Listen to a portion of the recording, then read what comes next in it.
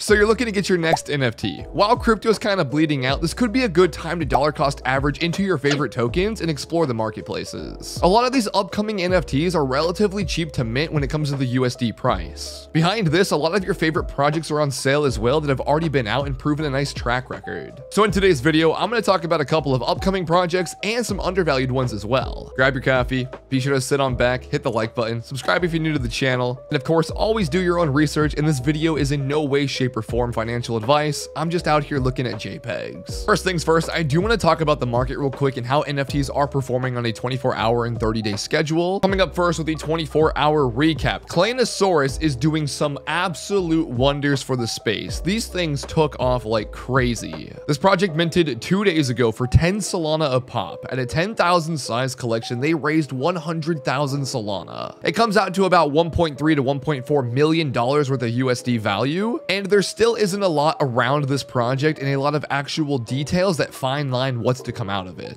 These are some 3D fully rendered GIF running dinosaurs in the realm of the Solana blockchain and have peaked upwards of a 30 plus Solana floor price. 280,000 volume in the last two days is absolutely insane, and Solana NFT volumes at over 300k for the 24 hour cycle. On top of that, y00ts, DeGods, and the Tubes all doing wonders in the marketplace. 1.1 million volume at a 200 SOL floor price on Tubes. DeGods odds just touched down on 2 million Solana traded volume at a 300 plus floor price, and y00ts not being out for that long have already done 1 million volume at a 122 Solana floor price. We are seeing the OG Solana monkey business making a massive comeback and a massive run up during this bear market, all the way from a 120 to a 220 floor price in just a matter of like a week, a week and a half. Then one of my personal favorites at the moment being Smiths, created by Blocksmith Labs, doing an absolute beautiful 80 Solana floor price, pushing the art upgrade, pushing the new revolutionary changes behind their innovation. I wouldn't be surprised to see Blocksmith Labs do a 100 Solana push again very, very soon. Jelly Rascals looking at a nice 50 Solana floor price, broke 100k volume and chilling at 115,000 traded volume. Wouldn't be surprised to see these upwards in the 70s yet again, breaking new all-time highs with the release of their gambling casino and their jelly use case. Hey, look, one just sold. Oh, he undercutted like crazy. Taiyo pilots are going through a scholarship whitelist program as well, built out by Dust Labs, so a little bit of a partnership there. One thing around Taiyo pilots we have been seeing, there is going to be four different factions behind this project, and people People are saying not to compare Taiyo pilots with Taiyo Gen 1 and Gen 2 as this should be treated as not a Gen 3, but entirely kind of like a new project overall. So throughout the factions, we have operators, enforcers, rebels, and resistance. At the moment, I'm a sucker for the rebels. Yo, she hot as fuck. I'm just going to put it out there. This is going to be at 12.5k supply. It will be airdropped to the oil like I mentioned earlier. Mint passes will cost 270 scrap, and there's only going to be 400 passes out there for sale. And the breakdown is going to be airdrop to oil holders, 2100 for the mint passes, and then 4628 for public use in the scrap burning. A few things that I have learned is if you do buy a Taiyo Robotic right now and pay full royalties on it, you do essentially get two free whitelist spots, so two mints for buying one of these. And if you hold a 5 liter of oil, which were airdropped to the Gen 2 infant Taiyos, you do get one free pilot, and if you hold a 10 liter, you will get two pilots airdrop for free. I'm just super excited overall for Taiyo. I love the ecosystem. I love Tom as a founder. I think they're doing absolute waves in this market. And to see Taiyo Gen 1 and Gen 2 switch over from scrap, the old token, to the new graphite use case, we're going to see a lot of different products and innovations behind Taiyo itself and new expansions into the Taiyo pilots. So I've been looking at Cardano NFTs for quite some time now. And I know this might come as a shock because a lot of people in the Solana community kind of hate on Cardano as a whole. But let me tell you about a couple of fumbles I've seen in my lifetime from not buying into Cardano NFTs. So one of my biggest fumbles was the Ape Society. I was gonna buy one or two of these at like 500 Cardano. Cardano at the time was like a dollar to two dollars, which wasn't crazy at all. A nice thousand dollar JPEG, kind of expensive, kind of not, depending on what realm of the side of things you're on. But now they're trading for 8,500 to 10,000 plus Cardano, which is pretty crazy to see. Space Buds I was gonna get at around 1,000 ADA and a little bit less, and now they're at 4,000 plus, which another pretty big fumble, a nice 4 to 5x. And then Clay Nation seeing these things at like 500 to 600, now sitting at 4,000, 3,000 ADA. And this blockchain's been around. It's just not that discoverable yet. Like you don't hear a lot about Cardano NFTs unless you're super tight in that community. The main two blockchains that stick out are of course Solana and Ethereum. However, seeing these projects just absolutely take off with big size collections, a ton of fucking volume with high floor prices compared to what they minted at, I feel like there's definitely room for growth in ADA and I feel like a lot of the mints themselves just kind of pop off. Like a lot of these projects are just like stake, community, artwork based.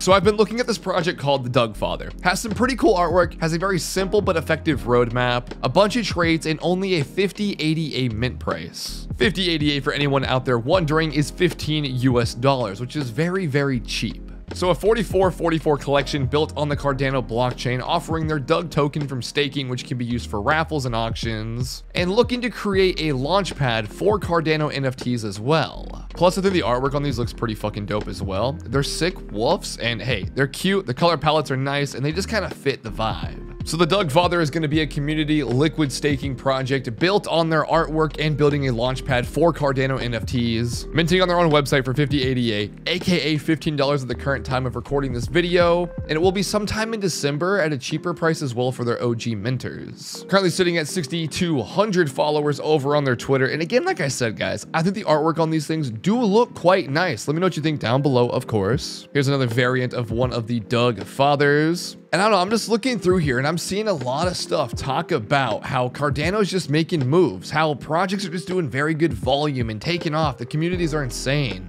So I want to dive into it. I want to check out Cardano. I want to see what else there is to explore around that blockchain and that marketplace and what kind of NFTs are actually making moves. So originally Dugfather was going to be a mint on Solana. However, they moved over to the Cardano blockchain due to the different technology and use cases you can actually have happen throughout the ADA blockchain itself. Stuff like liquid staking and immutable languages. So on top of getting access to their secret club, which is built by the community itself and driven out there through different utilities such as weekly giveaways and raffles, built on a staking system for their Dug token where you can also use your Dugfather NFTs and send them out on missions which will reward you in the form of their Dug token, which will be used as their use case and governance token. And throughout this Dug tokenomics, you can actually use this in a reward system in form of arcade tickets that can be used to cash in for favors. So yeah, clean artwork, clean overall, you know, simplistic vibes behind it that just give off that effect of, hey, we can actually do this. Building a launchpad to help out other projects on the Cardano blockchain. And I'm excited to see the execution on this project to see how they perform and how it actually comes to play. Because, yo, Cardano just seems hot right now and the community does seem rather rapid. Let me know your thoughts down below. But on top of that, I also want to check out just more projects on Cardano. So if you guys have any other suggestions, what might be worth getting into,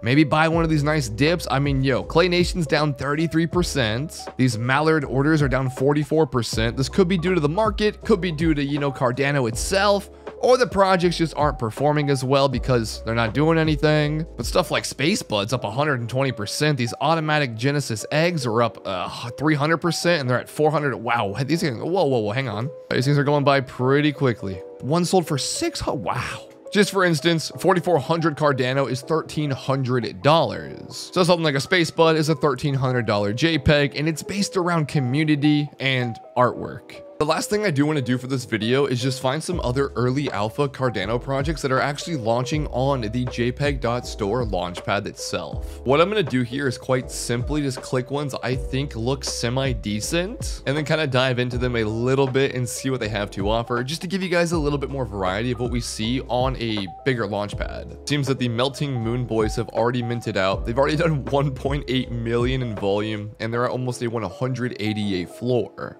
When I first saw these, I thought they looked pretty cool. Artwork seemed semi-decent, 5% royalty, and when it comes to a 188 floor, it's literally 30 bucks. Another one I did see was Reaver Empire. These are at a 2088 floor price with 15k volume.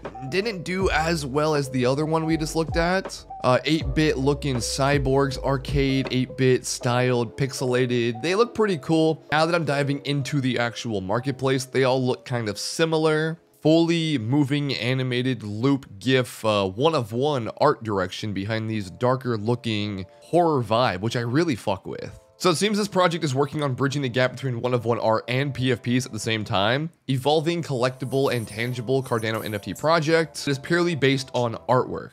So they got a 488 floor price or $142. Next up, we have these Scruffies. I saw these out there. They looked like uh, your, your doodles, thick lined, cutesy, cuddly artwork and they're sitting at like a $3 floor price. Uh, they didn't do so hot. 62k volume is still pretty fucking big, but dude, the owner to item supply is like 10%. This number here and here just isn't my cup of tea. It, yeah. OBA Genesis, 6.3k volume, 43 floor price. Oh, it's only a 340 collection. Maybe it didn't mint out. Maybe it didn't mint out and they just put 340 because 346 is a very weird number to have out there.